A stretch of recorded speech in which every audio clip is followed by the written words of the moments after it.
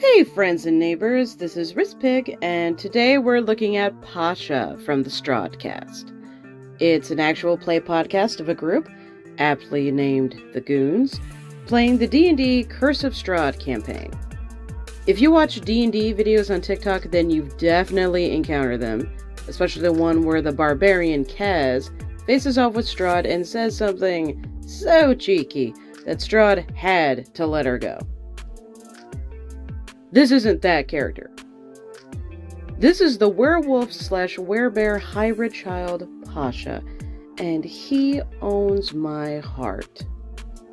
The dungeon master Trevor Fayle pushed every single one of my buttons to get me to care about an NPC. This illustration is inspired by the moment the party took a child away from a situation where he was being used for his supernatural strength as a werebear slash wolf monster. He was kept in a cage and treated like an animal. Since that night, he's been given clothes, food, and friendship. I won't say much more because I don't want to spoil the show or the campaign, but you gotta watch their videos and listen to their podcast. I am so invested in each of the player characters, as well as the Dungeon Master's unique interpretation of the module. I'll put a link to their channel in the description. I had been trying to follow other Strahd playthroughs, but Strahdcast is truly special. You do find the doom and gloom one would expect from a gothic horror adventure centering around an ancient evil vampire. But Trevor Fayle had expanded the story into an emotional and thrilling roller coaster. And the players Oh my gosh, the players. I've watched campaigns where the players are people that were hired to work on a project together, and it is a slog. The relationships don't feel genuine, it's all just so forced, and then you can uh, pick up on their real personalities not meshing. There's tension in a Critical Role episode 27 kind of way.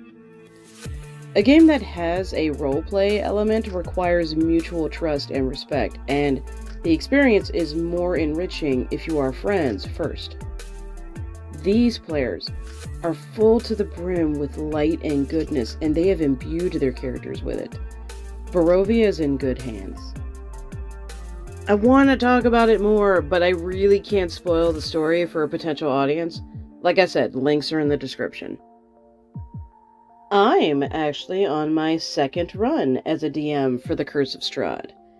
I first ran it years ago for my spouse and a couple of friends, and, uh, well, one of the characters died. Pretty brutally. During the event in which the goons actually encounter Pasha in their campaign.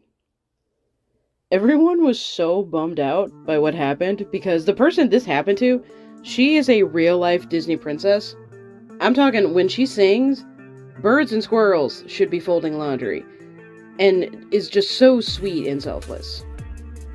So, for her character to just get slammed by a big bad, it had demoralized us so utterly that we straight up called it quits on the campaign.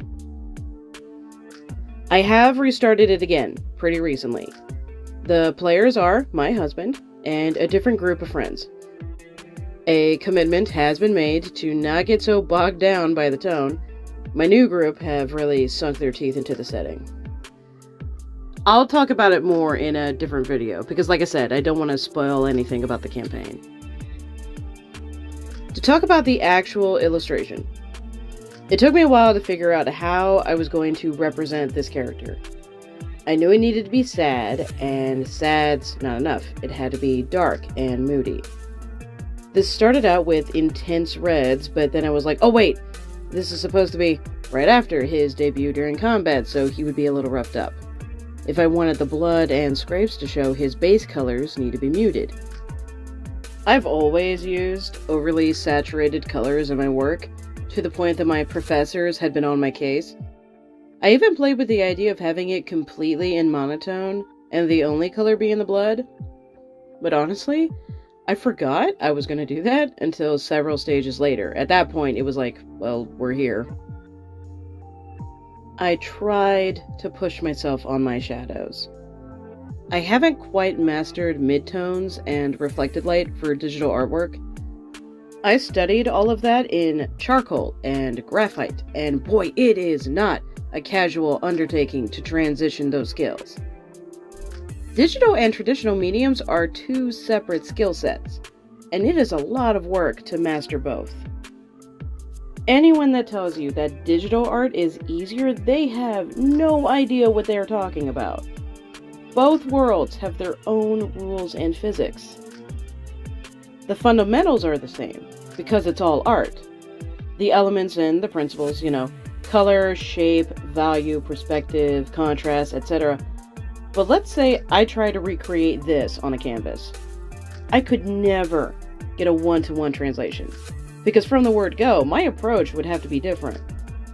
I gotta determine which tools I'll be using to capture the different textures. Speaking of, I have a weakness for texture brushes. The brush I used for the midtones and core shadows, oh, it is so unnecessarily gritty, but I wanted it all to feel gritty. Simple cel shading has its place, but this piece needed to strike a chord. I did want to expand my shadows by adding in reflected light, but in truth, I was painting this at like 3 a.m., so my brain was done. That's a really bad habit of mine. I can't stick to a healthy sleeping schedule on my art days. On those days, I just keep going until I crash. It's like when you park your car but leave the engine running for six hours. This is probably an unclear metaphor, but trust me, it's accurate. Anyway, that is it from me. Thank you so much for sticking around. If you're interested over on my channel, you'll find the series where I have been retelling the Exandria campaign I played in for two years. Also, go check out Strahdcast. Thank you, and have a great day.